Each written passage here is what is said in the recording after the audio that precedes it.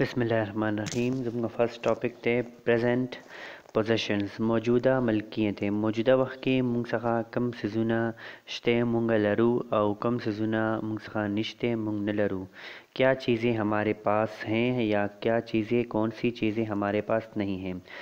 ورز دې د پاره استعمالېږي هیز یا هیو نو هیو اینډ هیل دا هیلپنګ ورکس د هی شیټ وان نیم سره هیز استعمالیږي او د دې نه علاوه آی، یو، وی، دی او جمع نومونو سره هیو استعمالیږي. پریزنټ پوزیشنز کې موبایل، هاوس، برادرز، سیسټرز، روپیز، بایک، لیپ ټاپ دا اوورال چې زموږ څومره هم په ملکیت کې څیزونه دي نو دې لپاره دا استعمالیږي هیز یا هیو. فار اګزامپل زه وایم چې ما څخه موبایل دی نو آی هیو ا موبایل، آی هیو ا هاوس، آی هیو آی هیو ا برادر یا آی هیو ون برادر ویلی شم. که دې نه سیوا ان آی هیو ټو برادرز، آی هیو تری برادرز داسې ویلی شم. آی هیو ا سیسټر یا ون سیسټر یا آی هیو ټو سیسټرز. تری سیسټرز فور سیسټرز که نګیټو یی نو بیا زه آی ډونټ استعمالوم آی ډونټ هیو اینی سیسټر داسی ویلی شم او که مختصر وام ددی نم نو آی هیو نو سیسټر ویلی شم آی هیو نو برادر آی هیو نو هاوس آی هیو نو موبایل داسی هم ویلی شم او که زه د ګرامر په طریقه باندی چلیږم او پوره سنټنس وام زه به هم آی ډونټ هیو ا موبایل او که زه جنرل سپوکن لینګویج استعمالوم او زه شارټ خبره کوم نو زه بیا هم آی هیو نو موبایل آی هیو نو هاوس نو برادر. نو سسټرز نو روپیز نو بایک نو لیپ ټاپ او که زه لرم نو زبام آی هیو ا موبایل آی هیو ا هاوس آی هیو ټو برادرز آی هیو ټو سسټرز آی هیو 500 روپیز آی هیو ا بایک آی هیو ا لیپ ټاپ وغیرہ اے ما استعمال که آی هیو ا اے یا این به لازم استعمالیږي چې کله مونږه یو سیز شو کوو يو څيز يادوو يو څيز باره کې خبره کوو چې سينګولر وي لکه مثال په طور معنې موبايل شه نو اې ما استعمال که آی هيو ا موبايل مطلب آی هيو اې موبايل سو آی هيو ا موبايل داسې ويل کيږي اې ولې استعمال شه اين ولې استعمال نه شه اين بالا استعماليږي چې کله يو لفظ شروع کيږي د الف اواز سره نو د هغی سره به مونږ استعمالو عین چه کله الف سره د هغی ساونډینګ وی د هغی اواز وی لکه مثال په طور معنی اپل شه نو آی هیو عین اپل به زه وایم ځکه چه اپل الف سره الف سره ساونډ کیږی د دی ساونډ اواز داسی دی د دی ادایګی داسی ده چه د هغی اواز چه کوم دی نو الف ساونډ دی اردو کې خو الف ساونډ دی انګلیش کې وته آه ساونډ ویل کیږي اي اچ والا آه ساونډ یا چې کوم دین اه ساونډ ای اچ والا ای چې کوم دین دا آه اه ساونډ چې کوم دی د سره اواز سره چې کوم دینو اواز والا لفظ سره دا سه لفظ چې غا آه اه اوح دا سی کوم اواز ورکوی هغی سره به عین استعمالیږی د هغی خاص وجه دا ده په پرونانسیشن کی په تلفظ کی دا فونیټکس سره تعلق ساتی فونیټکس دی ته ویل کیږی چی د هر یو لفظ په جمله په لفظ کی خپل یو اواز یی لکه ای خپل یو اواز پیدا کوی چی یو لفظ کی استعمال شی لکه مثال په طور باندی مونږ وو کنه بیک نو بیک BACK پيک نو اي اواز ورکه اي نطلب اصل کي ده دده چه کوم اواز پيدا که هغه ده اي اي والا اواز ده نو بيک دا اواز پيدا که نو دا واولز دي اي اي آي او يو او اي اي آي او يو کار دا ده ده واولز چه دي په يوه لفظ کي ساونډ پيدا کي اواز پيدا کي او ده اردو کي چه کوم ده نو مونږ ددي ډيفينيشن داسي کولي شو چه دا ده زور زير او زبر زير پيش ددي کار چه کوم ده نو دا کي په یو لفظ کې په انګلش کې چې ای، آی، او، یو کوم دي خو خاص خبره دا ده چې ای او این به موږ کله استعمالوو نو کله هم چې د یو لفظ اواز د سټارټ نه آ ساونډ یي آ، ای، ای، او نو موږ به هغې سره این استعمالوو لکه مثال آور نو این آور موږ ووو آور وایي ګینټې ته نو اور ورته ځکه وایی چی دا اچ دی وخت کی سایلنټ دی دا دی HOUR نو که مونږ لفظی معنی ددی لفظی تلفظ ددی کو چی څنګه لفظ دا دی نو هغه بیا هاور ویل کیږی خو نه ددی چی کوم لفظ څنګه دی نو دا به داسی وای نه په انګلیش کی ټول نه غټه مسله د پرونانسیشن ده د ادایګی ده چی مونږ یو لفظ څنګه وایو خلک یی څنګه وایی سپوکن انګلش کې د هغې ادايګي څنګه کېږي او په ريټن انګلش کې د هغې رايټنګ څنګه کېږي؟ نو ريټن انګلش کې خو دا ايچ او يو آر دی خو په سپوکن انګلش کې د دې ادايګي چې کومه ده د دې پرونانسيشن چې کوم دی نو هغه آور دی نو اوس آور چې کوم دی دې سر ته خو يو واول نه دی راغلی کانسوننټ راغلی ځکه چې اې ای او يو دا واول دي او واي سيمي واول دی نيم واول دی د دې نه علاوه ټول کانسوننټ دي چې کوم بي سي ډي وغيره زيډ پورې دي نو دا خو کانسوننټ راغلی دی واول نه دی راغلی نو د ای او ان استعمال ای ای آی او یو مطلب واولز معنی بالکل نه ډیپند کوي مطلب په څه باندې ډیپند کوي دا د لفظ په ساوند باندې ډیپند کوي پرونانسیشن باندې ډیپند کوي کچه د یو لفظ پرونانسیشن الف سره دی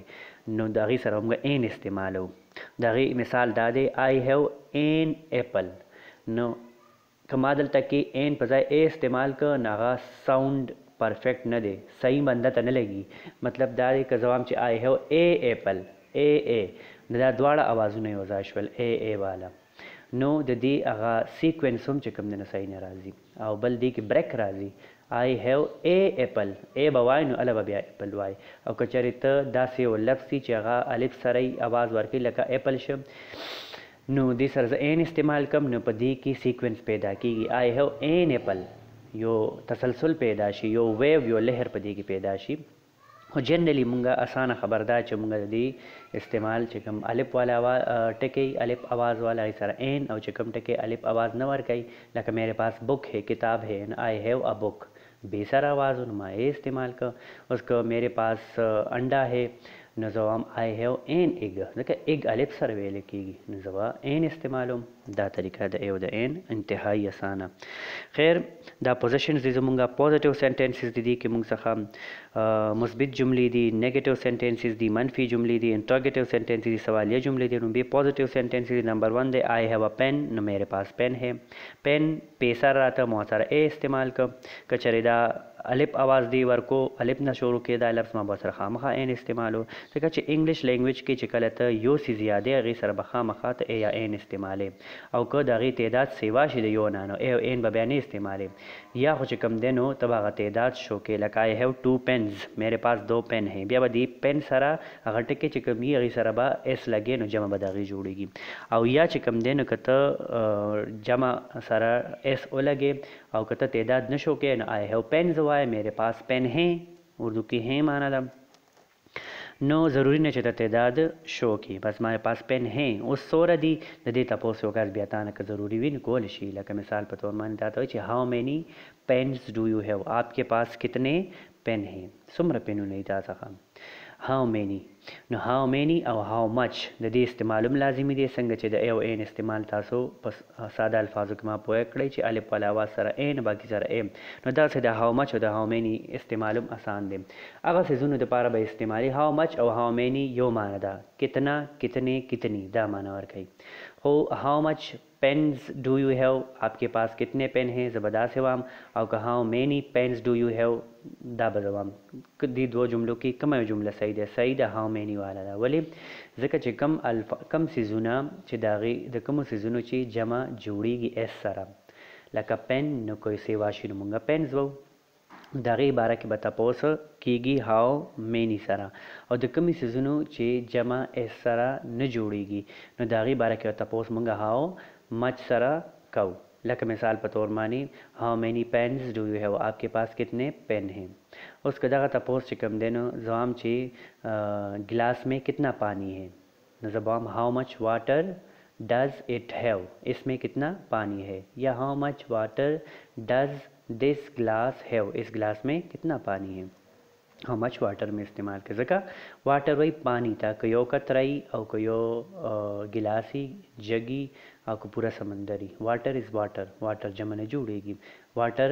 چې کوم دی د هغې جمع نه جوړیږي د هغه که سنګ که لږه یي نو هم ورته واټر وایي او که سیوا یي نو هم ورته واټر ویل کیږي ولې چې د دې جمع مونږ چې کوم دی د دې سیز جمع مونږ نشو جوړولای او د دې د پیمانې جمع مونږ جوړولای شو پیمانه څه ته ویل کیږي لکه مثال اګلاس اف واټر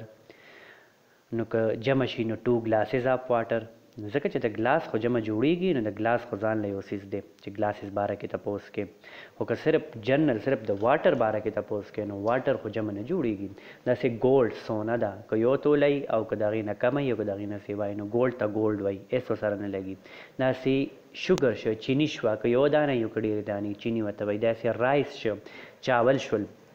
نه دیم جمع نه جوړیږي اس سره نو دغه تاسو خپل داسې سرچ وکړئ ریسرچ وکړئ چې داسې کم سیزونه دي چې داغي اس سره جمع جوړیږي او داسې کم سیزونه چې اس سره جمع نه جوړیږي نه دی اسان طریقه په اردو پښتو کې ده سوچ وکړئ کم د کم خبرو چې په اردو پښتو کې جمع نه جوړیږي انګلیش کې نه جوړیږي لکه مونږه وو کنه چې چاول راوړی ټیک ته نو چاول نه مراد چې کم دی یو پلیټ چاول هم یي او یو مجمم یي او ډیر هم یي داسې چینی پکې مونږ او استعمال کوي نو چینی خو یو چمچه هم کیدی شي دوه چمچې هم کیدی شي درې چمچې هم کیدی شي خو د دې د کوانټیټي د مقدار د پاره به خامخا ته پیمانه شو کې چې یو چمچه چینی که یو کپ چینی که یو ګلاس چینی که یو کیلو چینی څومره کیجیز کې ته چې کوم دی نه هغه کې اوبو چې کوم لیکوډ سوزونه دی هغه لیټرز کې چې کوم دی نو 1 لیټر 1 لیټر واټر یا ملک شه نه هغه ملک هم جمع نه جوړیږي نو داسې باره داسې ځینو باره کې به هاو مچ هاو مچ سره تپوس کوي چې هاو مچ ملک هاو مچ ملک سوري هاو مچ ملک ډو یو هیو آپ کې پاس کتنا دودھ ہے ٹھیک شه ان آئی هیو ا لیټر آپ ملک مطلب ون لیټر ملک میرے پاس ایک لیټر دود هې. یو لیټر ملک دې ما څخه یا آی هیو ون کې جی شوګر میرې پاس ایک کلو شوګر هې داسې ویلی شي نو دا د هاو مچ او د هاو مینی باره کې سنګولرز چې د کومو جمع جوړیږي اس سره هغه سره به استعمالې هاو مینی چې د کومو اس سره جمع نه جوړیږي باره کې به هاو مچ استعمالې دې کې یو امپورټنت خبره دا ده چې د پیسو باره کې به تاسو هم هاو مچ سره کیږي هاو مینی سره باندې کیږي جنرلي خو موږ ته داسې ښکاري چې د روپي نو د روپي جمع خو چې یوان روپي نو چې جمع شي نو روپیز جوړیږي نو ټیک ته روپیز خو جوړیږي خو دا خو یو اکایي ده روپیز خو یو اکایي ده داسې ډالر یو اکایي ده دغسې چې کوم دی نو پاونډ یو اکایي ده اصل خو مني ده آپ کې پاس کتني رقم هې هاو مچ مني ډو یو هیو آپ کې پاس کتني رقم هې تا څخه څومره پیسی دی نو ضروری خو نه ده چه تا څخه پیسی چه کوم دی هغه موږ چه ته پیسی وو روپی ورته وو نو چه هغه تا څخه روپیز کی یی په ډالرز کی ځکه چه دک سوال چه کوم دی نو ته په پاکستان کی هم کولای شی او انټرنشنلی هم کولای شی نو داسی قسم سوال پکار چه هاو مچ منی ډو یو هاو نو د منی خو جمع نه جوړیږی کنه اس سره د روپیز خو جوړیږی خو د منی نه جوړیږی نو هاو مچ منی ډو یو هاو آپ کی پاس کتنا رقم هی کتنی رقم هی آپ کی پاس. نو بيا جواب کي دهغه کس خوښه ده چي هغه تاته چي کوم دی نو هغه رقم په روپيز کي وايي چي I have ten rupees يا I have ten dollars I have ten pounds داسي ويلي شي هغه بيا تاته چي ما څخه دومره دي خو دغه اکايانو جمع جوړيږي روپي نه روپيز جوړيږي پاونډ نه پاونډ جوړيږي خو Money is money رقم رقم يي که هغه هر سوری یی هغی ته منی ویل کیږی نو د پیسو باره کی چی چا نه هم تپوس کوو مونږ دا خیال مونږ ساتو چی ټیک ته دی سره خو چی کوم دی نو جمع ایسه جوړیږی او مونږ به هاو مچ روپیز به وو مونږ آپ کی پاس کتنی روپی هی نو دا هاو مچ هاو مینی استعمال هم دی کی تاسو ته ډیفاین شو او د چی کوم آرټیکل وو ای او ان این د دی استعمال هم تاسو ته شو شو. بل خاص دې کې دیم دی نو دې مونږ هله استعمالو چې کله مونږ یو څیز سپیسیفای کوو لکه مثال په طور معنی آی هیو ا پین دی زه دې په ځای معنی دم استعمالو شم آی هیو د پین په دې معنی به دای میرې پاس وو پین هی یو خاص پین دی ټیک شو آی هیو د پین ویچ یو هیډ جواب کې پاس تا ما څخه هم اوس اکه پین دی کم چې تا څخه او زه بازار ته لاړم ځان مې واغست خو دا د ما ځکه استعمال ک چې دا پین ما سپیسیفای ک خاص مې کم خاص مې ولیکه ځکه چې دا پېن ما چا څخه لیدلی و او بیا ما هغه ځان له حاصل کړ، هغه مې ځان له راړ، وامې غسته، نو زه اوس چې کوم دی نه دا د ځکه استعمالوم چې زه به د دې پېن اوس وضاحت تا ته کوم یا خو به د دې جملې نه مخکې یا به پس زه وضاحت کوم چې دا کوم یو پېن دی، د مې ورسره ولې استعمال کړ، دی مې ولې خاص کړ چې د پېن. لکه ا پن خو یو عام پن کیدی شي خو د پن یو خاص پن کیدی شي چې د کوم باره کې تذکره شوي یا چې کوم دی نو د کوم پن باره کې چې کوم دی تا تپوس کړی یا تا چې کوم دی نو د هغې قیمت تپوس کړی یا ستا هغه خوښي نو بیا ا په ځای ته د هم استعمالولی شي خو جنرالی ای استعمالیږي عام طور معنی I have a pen میرې پاس پن هې. نيګيټو کې که دا جمله مونږ وو نو مونږ به ډونټ استعمالو دا د ډو ناټ مختصر حالت دی آی ډونټ هیو ا پین میرے پاس پین نهی ہے انټراګیټو سوالیه جمله کې مونږ ډو سر ته راولو ډو آی هیو ا پین کیا میرے پاس پین ہے نو نيګيټو او انټراګیټو سنټنسز کې به د ډو او د ډز استعمال کیږي As a helping verb، به طور Helping verb Help به کوي موږ سره مدد به کوي Negative جمله به راله جوړوي په Negative جمله کې به do ولګي نو not په سره ولګي په سوالیه جمله کې به دا do سرته ولګي نو دا جمله به سوالیه شي Have خو به که have استعمالیږي کیا میرے پاس پین ہے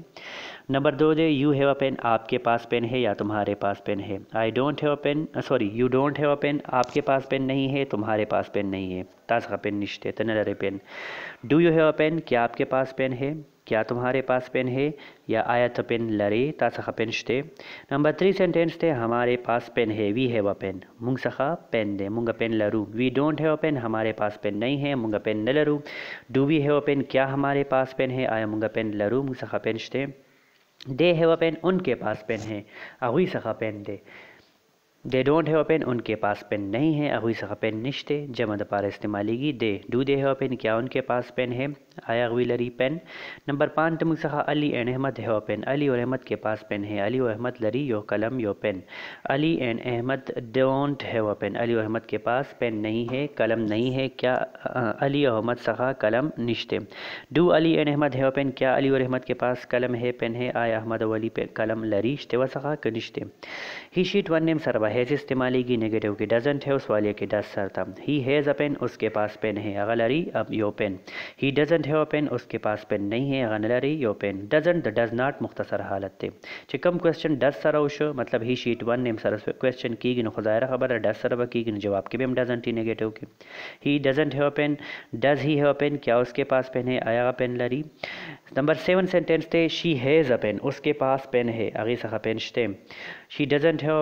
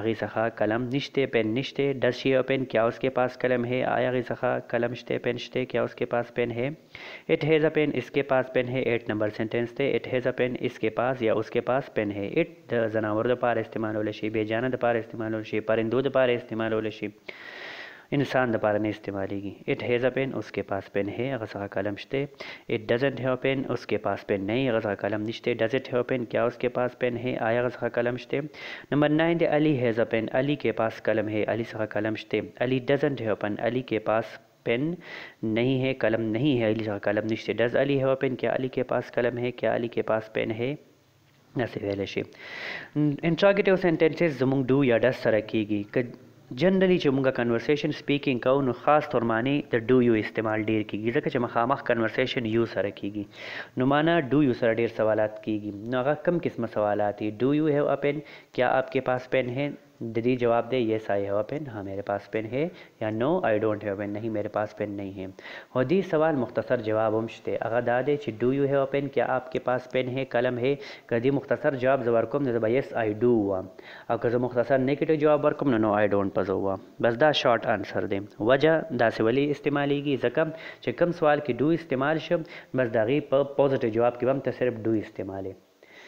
او نيګټو جواب کې به هغه ډو سره ناټ ولګي آی ډونټ که ډز سره کوم سوال وشو نو دغه جواب کې هم ډز استعمالېږي لکه ډز هی هیو پین کیا اس کې پاس پین هی نو که مختصر وای چې او شته او غس او شته نو یس هی ډز بس دا مختصر جواب شو که نیگیټیو مختصر جواب ورکې نو هی ډزنټ دا طریقه ده نو دا د اوورال سپوکن انګلش لینګویج د پاره ده چې څومره موږ انګلش وو که مثال یو سوال ما ما نه وشي چې کوم دینو د اس سره وشي آر سره وشي نور هیلپینګ ورب سره وشي دغه طریقه هم دغه ده سیم ټو سیم ده کوم هیلپینګ ورب سره کوېسچن وشي ان دغه مناسبت سره جواب کې چې کوم هیلپینګ ورب استعماليږي هغه به صرف شارټ استعماليږي لکه مان څوک تاسو کې چې آر یو ا ټیچر کیا آپ ټیچر هو استاد هو نو زه به تام یس آی ایم هامې هو ضرور خو نه چې زه تدام چې یس آی ایم ا ټیچر هامې استاد هو یس آی ایم هامې هو یا نو آی ایم ناټ نهی مې نهی هو مختصر جواب دا دی ځکه آی سره خو اوس جواب کې آر نه راځي چې آر یو سره ما سوال وکړو نو جواب کې به چې کوم دی نه زه آی آر استعمالوم دې وخت کې آی سره ام راځی دی ټینس کی دی دا رول دا دی آی سره خو آر نه راځی چه آر نه راځی نو سه راځی ام راځی نو بس دغه ام سره جواب دی کنی یس آی ام نو ام ناټ نو دا د شارټ سپوکن انګلیش لینګویج طریقه کار چه شارټ انسر به ته څنګه ورکی دویم اهم خبره دا چه دا کویسچنز ټول چه کوم شوی دی انټراکټیو سنټنسز نه دا هیلپینګ ورب سره شوی دی سر ته هیلپینګ وربز دی بعضی سوالات داسی چه هغه کویسچن ورډ سره وشی وټ وای ویر هاو ویچ وغیره سره د هغې جواب کې Yes یا No نه ویل کېږي. لکه، Do you have a pen؟ کیا آپ کې پاس پېن هې؟ نو ما ووي، Yes I have a pen یا No I don't have a pen. که دغه سوال مانا What do you have سره وشي چې کیا آپ کې پاس کیا هې؟ What ځکه استعمال شو چې ما ته څیز شو نه کړ چې تا سره دا څیز شته او که نشته. ما نه اوورال کوېسچن وکړ، What do you have؟ آپ کې پاس کیا هې؟ لکه پولیس یو چې کوم دی نو یو کس ودروي او هغه نه تپوس کوي چې تا څخه څه دي؟ آپ کې پاس کیا هې؟ موږ ته وښو. داس ممنوع عسیس خو تا څخه نشته نو داسې وخت کې وټ ډو یو هیو آپ کې پاس کیا هې ځکه هغوی ته خو پته شته نه چې کوم څیز نو ځکه هغوی وټ استعمال کړ نو دا وټ استعمال شو کویسچن ورډ نو د دې جواب کې به نه زه یو کس چې کوم دی نو یس وایي نه به نو وایي دی به پوره جواب ورکوي وټ ډو یو هیو آپ کې پاس کیا هې دی به ډایرکټ جواب شروع کوي یس او نو به نه وایي دی به وایي چې آی هیو ا والټ میرې پاس ایک بټوا هې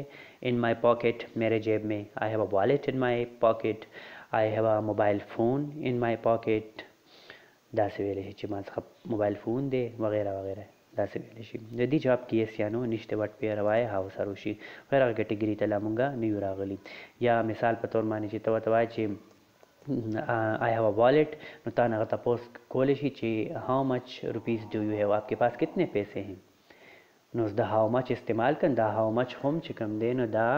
یو کویسچن ورډ دی که هاو مچ هاو مینی هاو وټ وای ویر هاو نو اوس په هم ته جواب کې یس یا نو نه وای دې جواب به ته ډاریک ورکې آی هیو فایف هنډریډ روپیز میرې پاس پانچ سو روپې هې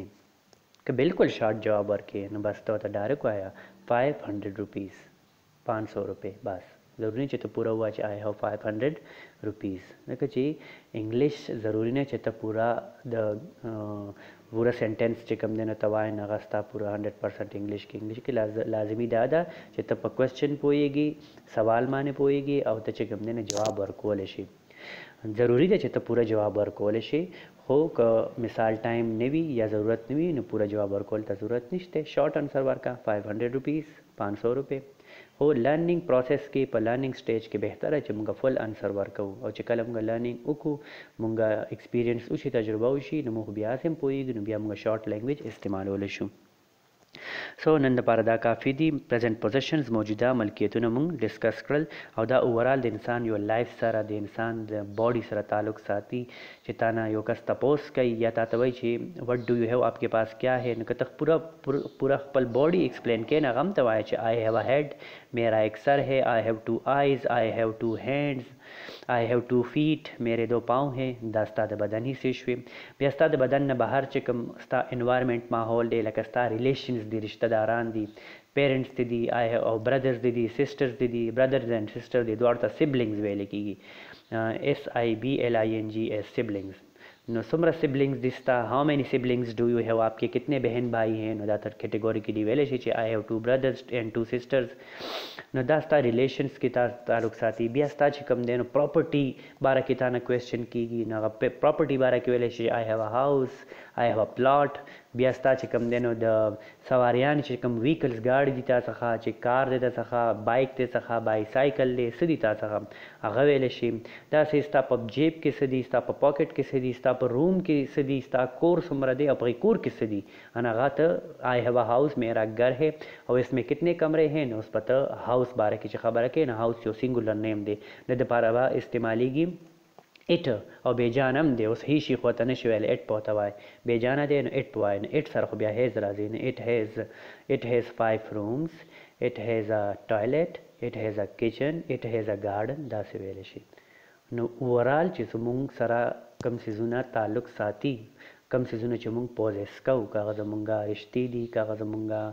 هاوس دی که هغه زمونږ فزیکل باډي ده زمونږ فزیکل پارټس دي زمونږ جسماني حصې دي زمونږ یا زمونږ مني ده موږ څخه څومره یا زمونږ چې کوم دی نو لیپ ټاپ کمپیوټرز وغیره څه دي اوورال چې کوم دی نو په دې طریقه باندې نننی چې کوم موږ ټاپک وکړو دې کې هغه موږ کور کولای شو ښه ایزیلي سو نن لپاره دا کافي دي. او کویز کې چې کوم دین تاسو موږ ته بیا انسر راکوئ چې کوم کویز تاسو له درکول کیږي خدا حافظ